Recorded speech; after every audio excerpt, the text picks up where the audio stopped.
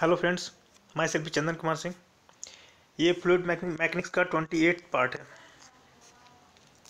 Last class में हम लोग फोर सिक्सटी फोर तक कर चुके थे। नेक्स्ट क्वेश्चन है फोर सिक्सटी फाइव कह रहा है two pipe lines at different pressure P A and P B दो पाइपलाइन है। एक पाइपलाइन ये है और दूसरा एक, एक दूसरा पाइपलाइन है इधर है। अगर इस पाइपलाइन को हम यहाँ से देखें तो हमको क्या दिखेगा? हम अगर यहाँ से इस पाइपलाइन को देखें तो हमको जो दिखेगा वो गोल दिखेगा। तो ये जो है, गोल जो दिख रहा है, ये एक पाइपलाइन है। और दूसरा पाइपलाइन ये है।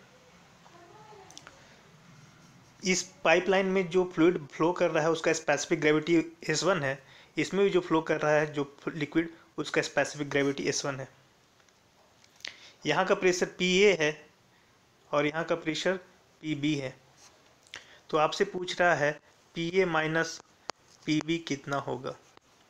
इस दोनों पाइपलाइंस के थ्रू एक पाइपलाइन में यहाँ पर छेद करके हम यूट्यूब मैनोमीटर अटैच किए हैं। तो अगर यहाँ से देखेंगे तो हमको ऐसा दिखेगा। यहाँ से कहीं से एक लिक्विड निकल के जा रहा है। तो लिक्विड निकल कैसे जा रहा है? ये जो ब्लैक कलर का है, ये मरकरी है एच है। एच हाई डेंसिटी फ्लूड है। स्पेसिफिक ग्रेविटी उसका जो है एच का वो एस है। इसका स्पेसिफिक ग्रेविटी एच टू है। यहाँ से लेकर के यहाँ तक के हाइट को हम एच वन बोल रहे हैं। ये हाइट जो है वो एच टू है और ये जो हाइट है यहाँ से लेकर के सेंटर तक वो है एच थ्री तो आपसे P A minus P B पूछ रहा है। तो आप इसके लिए करिए क्या?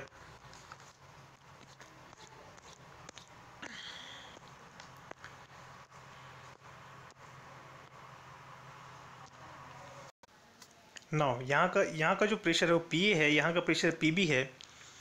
ये हाइट जो है एच वन है, ये हाइट एच टू है और ये हाइट एच थ्री है। जो स्पेसिफिक ग्रेविटी यहाँ, जो लिक्विड है, वही लिक्विड यहाँ भी है। यहाँ भी स्पेसिफिक ग्रेविटी एच वन ही है। और मरकरी का specific gravity H two use कर रहे हैं। तो हम ये जानते हैं कि प्रेशर जो है वर्टिकल डायरेक्शन में, जैसे हम ऊपर जाते हैं वैसे वैसे प्रेशर घटता है। और जैसे हम नीचे आते हैं तो प्रेशर बढ़ता है। लेकिन प्रेशर किसी हॉरिजेंटल प्लेन में प्रेशर सेम होता है। यहाँ पर एक हॉरिजेंटल प्लेन हम कंसिडर कर कर रहे हैं, ये हॉरिजेंटल प्लेन हम कंसिडर कर रहे हैं। तो pressure at the point P is equal to pressure at the point Q pressure जो कि पॉइंट पी का होगा, वही प्रेशर पॉइंट क्यू का होगा, क्योंकि वो सेम हॉरिजेंटल प्लेन में है। तो हम यहाँ से कहेंगे कि pressure at the point P is equal to pressure at the point Q तो अब pressure at the point P होगा क्या? तो pressure at the point P होगा क्या? तो पहले यहाँ का प्रेशर कितना है? पी ए है तो पी ए लिख दिए। उसके बाद हम इतना हाइट तक गए, क्योंकि एच वन हाइट हमको दिया हुआ है। तो यहाँ पर कौन सा लिक्विड है? तो यहाँ पर वही लिक्विड है जो जिसका स्पेसिफिक ग्रेविटी वन था एस वन तो हम लिखेंगे रो वन जी यहाँ से यहाँ तक एच वन और वही लिक्विड है थ्रू आउट तो हम कह सकते हैं एच वन फिर यहाँ से यहाँ तक एच टू यहाँ से यहाँ तक एच टू फिर यहाँ से यहाँ तक एच थ्री एच थ्री तो H one plus H two plus H three minus H three minus H two इतना हमको दिखा। Pressure at the point P तो हम pressure at the point P लिख रहे हैं। Pressure at the point A minus, जैसे ऊपर बढ़ रहे हैं तो minus rho G H one rho one G H one plus H two plus H three पूरा यहाँ तक। फिर उसके बाद नीचे बढ़ रहे हैं तो प्लस में। फिर नीचे बढ़ रहे हैं तो प्लस में। Rho one G H three plus H two H three plus H two ये pressure at the point P मिल गया। अब ना हमको चाहिए pressure at the point Q तो pressure at the point Q क्या होगा? तो pressure at the point Q होगा। इस पॉइंट पे प्रेशर क्या होगा? यहाँ पर चूँकि pressure at the point B है तो पी बी प्लस यहाँ पर वही है रो वन रो वन ही एस वन ही है। तो plus rho one G H three plus यहाँ से यहाँ तक प्लस रो एम मरकरी है जी है एच टू है। तो ये चीज़ के बराबर होगा। P plus rho one G H three plus rho M G H two इतना इसको थोड़ा सा और आगे सॉल्व करते हैं हम तो हम इसको थोड़ा कैंसिल आउट कर लें तो rho one G H H one rho one G H one plus rho one G H two plus rho one G H three ये तीनों अंदर मल्टीप्लाई कर दिए फिर क्या किए rho one G H three plus rho one G H two is equal to P B plus rho one G H three P B plus rho one G H three plus rho of mercury G H two तो यहाँ से जो equal होगा उसको cancel out कर लेते हैं। ये ये कैंसिल आउट होगा। एच टू वाला टर्म इससे, इसके साथ कैंसिल होगा और एच थ्री वाला टर्म इसके साथ कैंसिल होगा। मतलब ये चारों कैंसिल हो जाएगा। तो finally P A minus P B is equal to this much मेरे को मिला।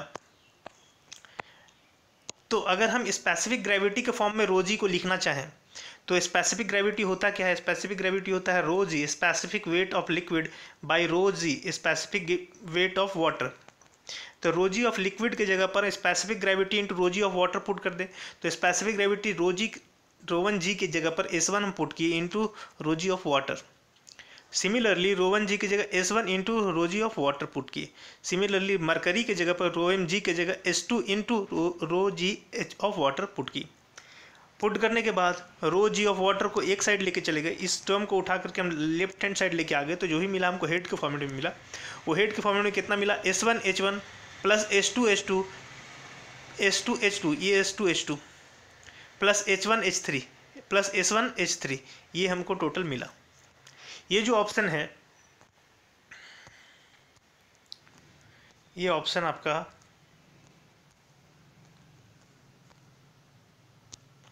option number D option number D next कह रहा है, in rough turbulent flow in a pipe pipe में कैसा फ्लो है? रफ है, रफ पाइप है। और टर्बुलेंट फ्लो हो रहा है तो फ्रिक्शन फैक्टर जो होगा, वो किस पे डिपेंड करेगा? फ्रिक्शन फैक्टर किस पे डिपेंड करता है? रफ के केस में। तो यहाँ पर for a choice of friction factor for smooth pipe smooth pipe के केस में अभी लेमिनार फ्लो अगर हो तो फ्रिक्शन फैक्टर होता है 64 four by Reynolds number for turbulent flow हो तो फ्रिक्शन फैक्टर होता है point three one six four by Reynold number to the power point two five ये फ्रिक्शन फैक्टर जो टर्बुलेंट के केस में जो यूज़ किया ब्लैसियस दिया था इक्वेशन ये दिया था। लेकिन यदि वही पाइप अगर रफ हो, अगर वही पाइप रफ हो तो रफ हो तो दो बात पर डिपेंड करता है। एक रिनॉट नंबर पे भी डिपेंड करता है और दूसरा फ्रिक्शन फैक्टर पे भी डिपेंड मतलब रफनेस पे भी डिपेंड करता है। The empirical formula and the diagram to determine the friction factor depending upon their roughness and Reynolds number वो दो बात पर डिपेंड करता है रिलेटिव रफनेस पे और रिनॉट्स नंबर पे। जबकि यहाँ पर अगर टर्बुलेंट फ्लो की बात बात करें स्मूथ पाइप के लिए तो उसके लिए सिर्फ़ और सिर्फ़ रिनॉट्स नंबर पर डिपेंड करता है। लेकिन वही चीज़ अगर रफ पाइप के लिए हो और टर्बुलेंट फ्लो हो तो वो दो बात पर डिपेंड करता है रिलेटिव रफनेस और रिलेटिव रफनेस और रिनॉट्स नंबर पर तो for rough pipe in turbulent flow Moody diagram can be use to obtain the friction factor Moody diagram use करते हैं हम लोग फ्रिक्शन फैक्टर निकालने के लिए। अब turbulent portion of Moody chart can be represented by Colebrook formula ये Colebrook का फॉर्मूला है, ये एम्प्रिकल रिलेशनशिप है। इस रिलेशनशिप के आधार पर हम लोग फ्रिक्शन फैक्टर स्मॉल एफ़ निकालते हैं। तो स्मॉल एफ़ का फॉर्मूला ये है। इस चीज़ को अगर डायग्राम के रूप में अगर हम देखें तो डायग्राम मेरे को इस तरह का दिखता है। यहाँ पर स्मॉल ई e जो है, ये रफनेस हाइट है, जिसको रफनेस हाइट रफ रफ है, कितना हाइट है वो, इसको स्मॉल ई e से रिप्रेजेंट करता है। और D be the diameter of the pipe pipe का डायमीटर जो है पाइप का जो डायमीटर है, ये रफनेस अंदर का तो रिलेटिव रफनेस का हाइट और पाइप का डायमीटर जो है वो डी है। तो ई बाई डी जो है ई बाई डी वो रिलेटिव रफनेस इसको कहते हैं हम लोग। फॉर स्मूथ पाइप के लिए ई बाई डी का जो वैल्यू है, वो ज़ीरो होता है। लेकिन जैसे जैसे आप ई बाई डी का वैल्यू बढ़ेंगे जैसे जैसे इस डायरेक्शन में आप बढ़ रहे हैं ई बाई डी का वैल्यू बढ़ रहा है मतलब वो रफ पाइप के लिए बात कर रहा है। अगर स्मूथ पाइप हो तो लेमिनार फ्लो लेमिनार फ्लो हो स्मूथ पाइप में तो वो सिर्फ़ और सिर्फ़ रिनॉट्स नंबर पर डिपेंड करता है। नीचे में जो दिया हुआ है रिनॉट्स नंबर को रिप्रेजेंट कर रहा है hundred ten thousand ten to the power six ten to the power eight अब टर्बुलेंट फ्लो का अगर मान लीजिए यहाँ का कहीं का बात करिए आप, किसी पर्टिकुलर पॉइंट का बात कीजिए तो फ्रिक्शन फैक्टर जो है वो फ्रिक्शन फैक्टर दो बात पे डिपेंड करता है रिनॉट्स नंबर पे और दूसरा रिलेटिव रफनेस पे। तो रफनेस कितना ज़्यादा है? अगर मान लो इस इस टर्बुलेंट हम बात करें तो और पर्टिकुलर रफनेस का बात करें ये E by D is equal to point zero three तो इसमें फ्रिक्शन फैक्टर आपका ये होगा, आपका ये फ्रिक्शन फैक्टर होगा। एक पर्टिकुलर रिनॉट्स नंबर पे हम चलें और वो ग्राफ को जहाँ कट आउट करेगा तो वो आपको हम फ्रिक्शन फैक्टर दे देगा। ये ग्राफ को हम बोलते हैं मोडी डायग्राम। इसका नाम है मोडी डायग्राम और ये जो फॉर्मूला बेस्ड है, उस फॉर्मूला को बोलते हैं कोलब्रुक फॉर्मूला। ये एक इम्पेरिकल रिलेशनशिप है। इस रिलेशनशिप को उतना याद रखने की ज़रूरत नहीं है आपको। आपको सिर्फ़ याद रखना है कि जो फ्रिक्शन फैक्टर है रफ पाइप के लिए, वो रिलेटिव रफनेस पे और रिनॉट्स नंबर पे, दोनों पे डिपेंड करता है। रिनॉट्स नंबर पे और रिलेटिव रफनेस पे डिपेंड करता है।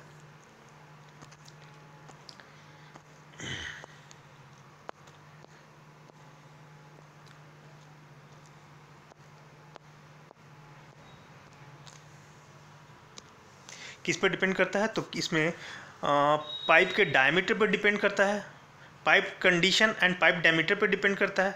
तो आपका option number D, pipe condition and pipe diameter दोनों पे डिपेंड करता है। आपका रिलेटिव रफनेस। नेक्स्ट है, इन टर्बो मशीनरी में एक मेथड इसको बोलते हैं हम लोग बकिंगम पाई मेथड ये बकिंगम पाई मेथड क्या होता है? डायमेंशनलेस टर्म निकालने के लिए होता है. जैसे मान लीजिए एक कंडीशन आपके पास दे रखा है relevant parameter of volume flow rate density viscosity मतलब कि कोई पाइप फ्लो का बात कर रहा है अगर तो पाइप में कुछ लिक्विड फ्लो कर रहा है, तब वहाँ कौन कौन सा वेरिएबल है ये आपको दिमाग से दिमाग से सोचना पड़ेगा सबसे पहले। और उनके बीच एक इम्पेरिकल रिलेशनशिप निकालना पड़ेगा, एक डायमेंशन लेस नंबर निकालना पड़ेगा, जो कि हमेशा वैलिड होगा किसी भी सिचुएशन में सेम पाइप फ्लो के लिए। तो उसमें यहाँ पे जो जो हम वेरिएबल कंसिडर कर रहे हैं, वो वेरिएबल है density rho discharge viscosity bulk modulus pressure difference delta P power consumption capital P rotational speed omega and a characteristic dimension अगर कैरेक्टरिस्टिक डायमेंशन लेंथ इसका एल है तो वो भी लेना होगा। तो इतना सारा वेरिएबल है मेरे पास। तो नंबर ऑफ़ वेरिएबल इन वेरिएबल को आपस में रिलेट करना है with the help of Buckingham pi method Buckingham pi method से। तो इसमें क्वेश्चन ये पूछ रहा है कि the number of independent pi terms कितना नॉन डायमेंशनल पाई टर्म्स निकलेगा? नॉन डायमेंशनल टर्म कितना निकलेगा, कितना नॉन डायमेंशनल टर्म निकलेगा इस पर्टिकुलर सिचुएशन में, वो आपसे पूछा जा रहा है। पाई टर्म्स तो इसके लिए हमको यहाँ पे ये ये सबसे पहले वेरिएबल गिनना होगा, कितना वेरिएबल है। तो variable is equal to M M is equal to number of variable कितना है ये? तो एक है वॉल्यूम फ्लो रेट एक डेंसिटी दो, विस्कोसिटी तीन, बल्क मॉडुलस चार, प्रेशर डिफरेंस पाँच, पावर कंजम्पशन छः, रोटेशनल स्पीड सात एंड कैरेक्टरिस्टिक डायमेंशन आठ। टोटल टोटल वेरिएबल जो इन्वॉल्व है यहाँ पर आठ वेरिएबल इन्वॉल्व है। आठ वेरिएबल इन्वॉल्व है। ये नंबर ऑफ़ वेरिएबल को हम एम से डिनोट करते हैं। अब इस आठ वेरिएबल को आपस में रिलेट करने के लिए हमको नंबर ऑफ़ फंडामेंटल डायमेंशन हमको कंसिडर करना होगा। लेट द फंडामेंटल डायमेंशन हम तीन कंसिडर करते हैं जनरली क्योंकि मास लेंथ और टाइम ये तीन फंडामेंटल डायमेंशन हम लोग कंसिडर करते हैं। तो ई this is this is equal to N N is equal to ये फंडामेंटल डायमेंशन और m is equal to number of variable तो m माइनस एन जो होगा ना, m माइनस एन आठ माइनस पाँच, आठ माइनस तीन, जो बचेगा पाँच तो नंबर ऑफ़ पाई टर्म्स हो जो होता है, वो number of variable minus number of fundamental dimension का जो डिफरेंस होता है, वो होता है नंबर ऑफ़ पाई टर्म्स तो number of pi pi terms यहाँ देखने जो को मिलेगा, वो pi term number of pi terms number of pi terms is equal to M minus N N be the M be the number of variable N be the number of fundamental dimension M कितना है यहाँ पर? आठ है और fundamental dimension हम तीन consider करते हैं तो, तो टोटल क्या मिला हमको? पाँच। तो पाँच be the number of items ना अगर इसको हम गौर से थोड़ा देखें बकिंगम पाई मेथड के बारे में थोड़ा सा।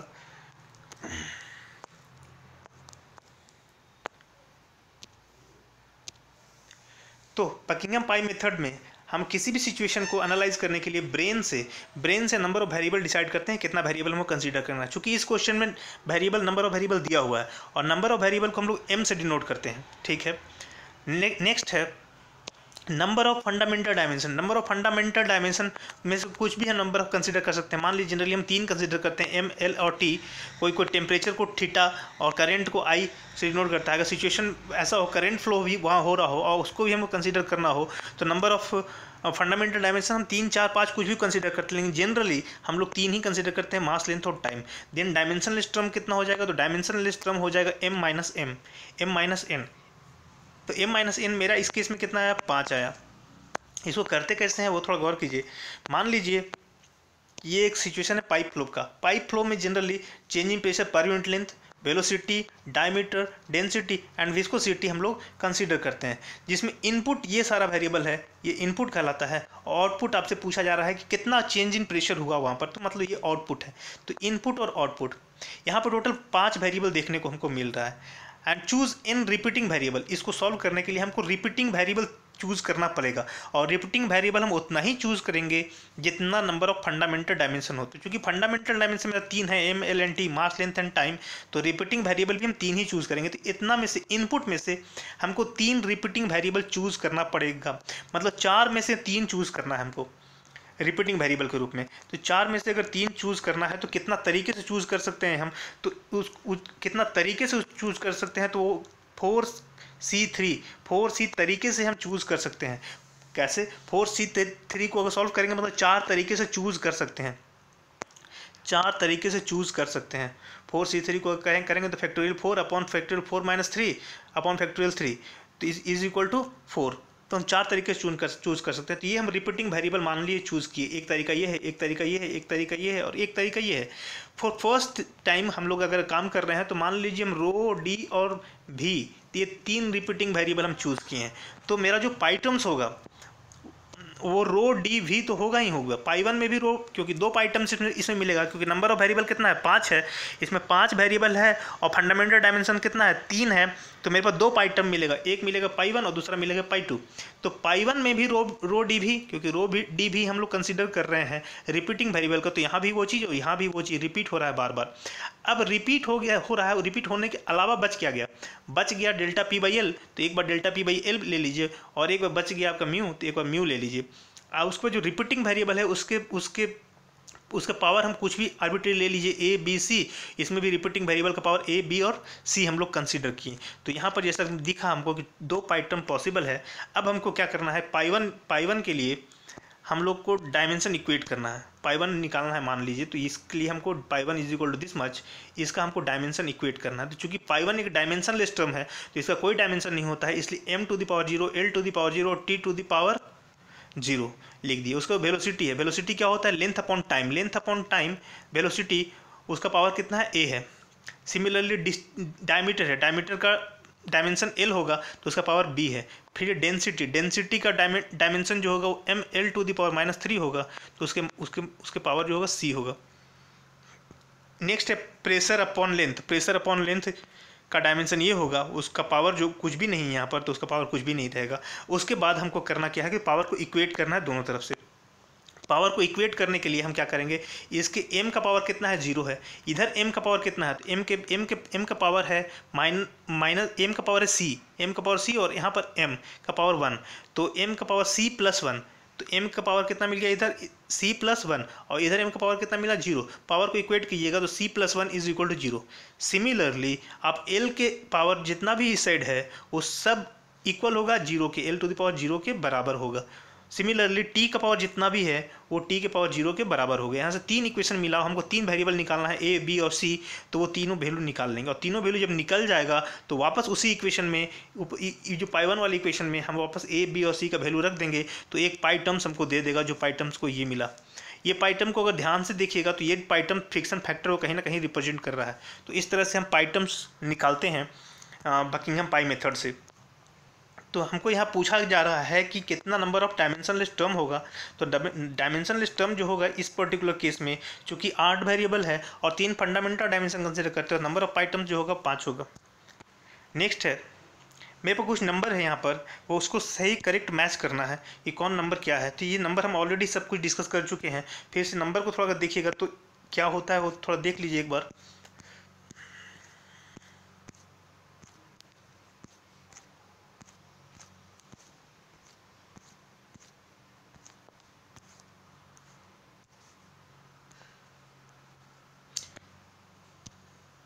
सबसे पहला था रिनॉट्स नंबर रिनॉट्स नंबर होता है inertial force by viscous force जहाँ विस्कस फोर्स हो, वहाँ Reynolds number Froude number inertial force by gravity force जहाँ ग्रेविटी फोर्स हो, वहाँ Froude number Euler's number pressure force by inertial force pressure force कहीं दिखता है तो यूलर्स नंबर हो गया. Mach number inertial force by elastic force या कंप्रेसिबिलिटी फोर्स तो Mach number Weber number inertial force by surface tension अगर surface tension कहीं इन्वॉल्व हो तो वेबर नंबर नेक्स्ट है Cauchy number Cauchy number square of Mach number Strouhal number, local inertial force by convective inertial force. ये कुछ dimensionless dimension dimensionless number है, जिसके बारे में हम कुछ याद करवाए थे। ना अब आ जाइए वापस क्वेश्चन में। क्वेश्चन क्या पूछता है? देखिए यूलर्स नंबर यूलर्स नंबर में क्या था? प्रेशर फोर्स प्रेशर फोर्स कहाँ आ रहा है? वन में आ रहा है। तो ए का वन ए का वन कहाँ है? यहाँ है। प्राउड नंबर किसमें आया था? ग्रेविटी में। तो दो का बी का दो नंबर सीधा दिख रहा है। मैक नंबर किसमें आया था? तो मैक नंबर आया था आपका elastic force inertial force by compressibility force या इलास्टिक फोर्स सी का पाँच नंबर सी का पाँच नंबर भी आ रहा है। D Weber number surface tension से रिलेटेड है। तो डी का चार डी का चार। तो ये आपका सही ऑप्शन है। Option number D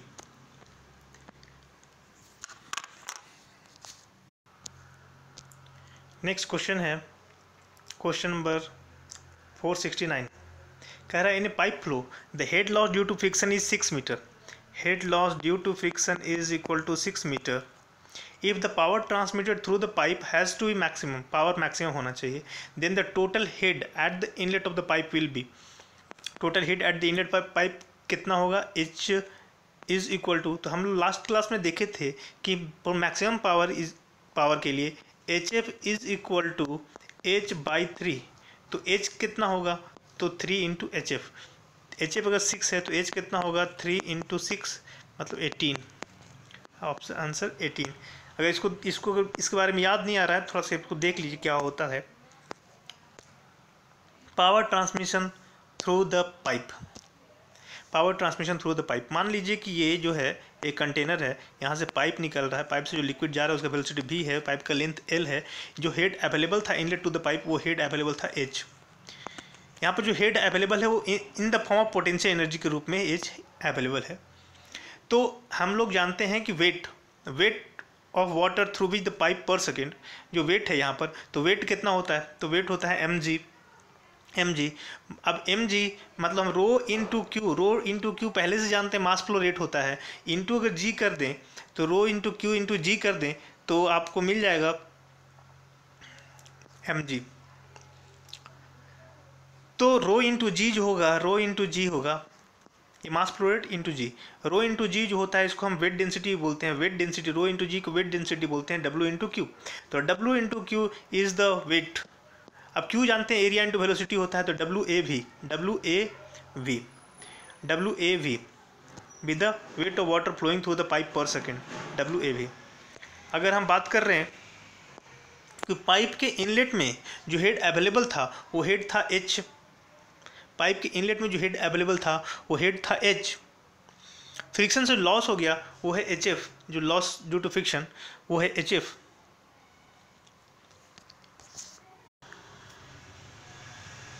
then the net head of water available at the point B point B में, अगर ये पॉइंट ए था और ये पॉइंट बी था तो यहाँ पर हेड अवेलेबल था एच तो यहाँ पर कितना अवेलेबल हो अवेलेबल होगा तो एच में से फ्रिक्शन वाला जो जो हेड लॉस होता है यहाँ पर, उसको माइनस कर देंगे तो head available H F at this point तो इफ़िशियंसी अगर बात करेंगे तो इफ़िशियंसी जो होगा वो H minus H F upon H H minus H F upon H जो होगा फ्रीक्वेंसी होगा आपका.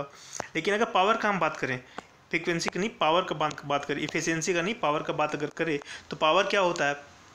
पहले से हमको एम जी वेट तो पता है, अगर एच से मल्टीप्लाई कर देंगे तो एम जी एच एनर्जी मिल जाएगा। तो एनर्जी मिल जाएगा, और ये एनर्जी अपॉन टाइम जो होता है एनर्जी अपॉन टाइम जो होता है, वो पावर होता है। तो पहले से मास फ्लो रेट पता था M M dot G into H तो ये जो मिला, आपको पावर मिला।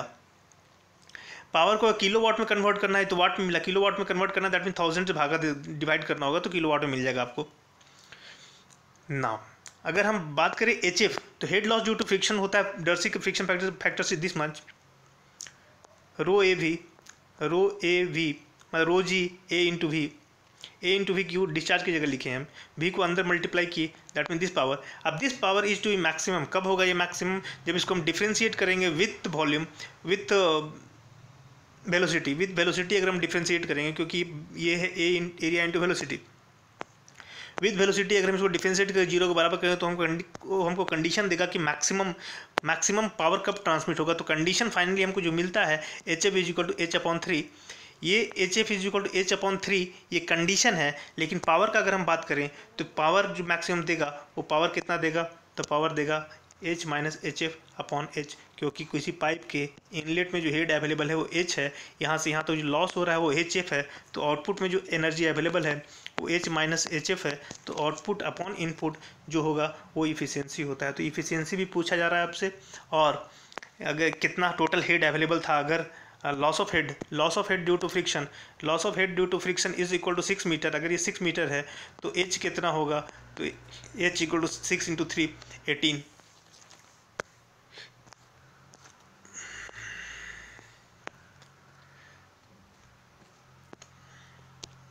तो यहाँ पे 18 और इफ़ हेड इतना है तो इफिशियंसी कितना होगा? Efficiency H minus H F upon H this is the efficiency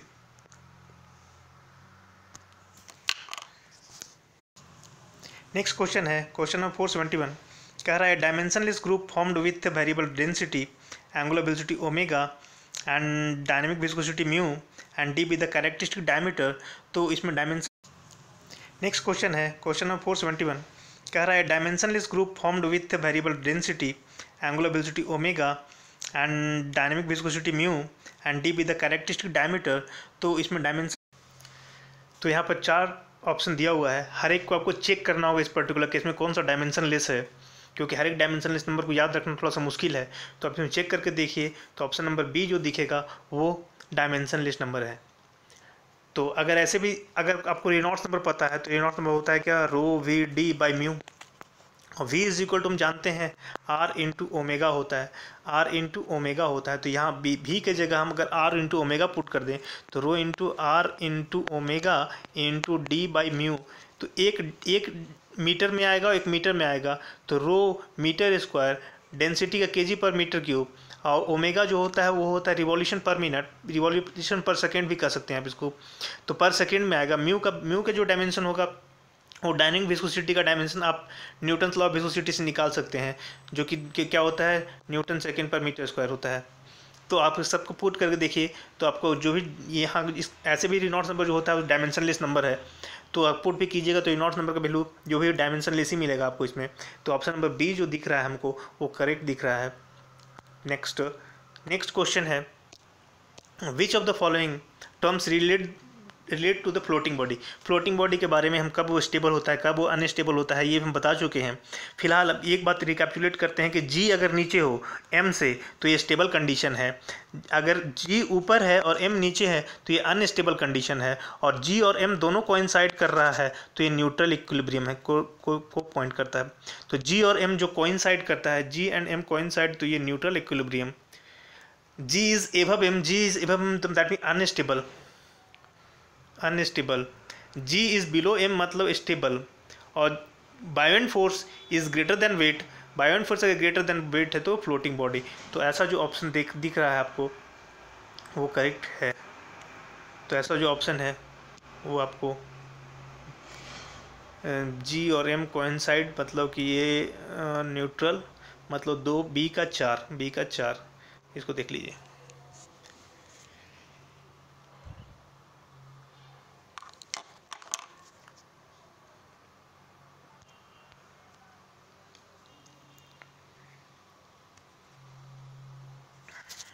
Now question number 473. For fully developed laminar flow through a pipe, the volumetric flow is given by volumetric flow rate मतलब discharge कितना हो आया था? जब pipe pipe के through flow करवाए थे तो डिस्चार्ज कितना आया था? तो ये हाइगन पॉइजली फ्लो इक्वेशन का इक्वेशन में ये डेरिवेशन है। चूँकि हम लोग पोलर कोऑर्डिनेट नहीं यूज़ किए थे हम लोग सिंपल तरीके से उसको सॉल्व किए थे जैसे बुक में यूज़ किया था। तो इसलिए उसको थोड़ा सा देखना।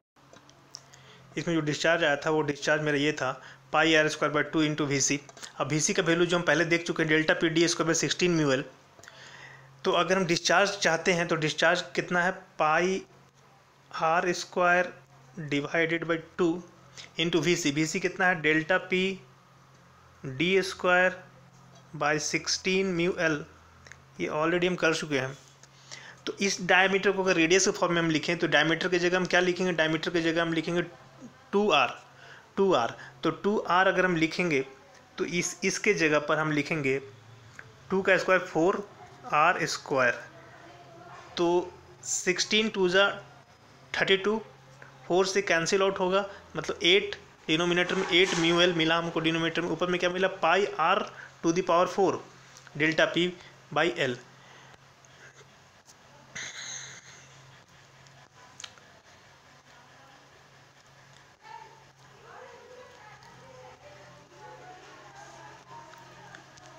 तो यहाँ जो इक्वेशन मिला, वो pi R four delta P by delta Z L की जगह डेल्टा जेड और बाई एट म्यू ये हमारा फाइनल एक्सप्रेशन जो मिला, वो ध्यान में रखिएगा। Option number A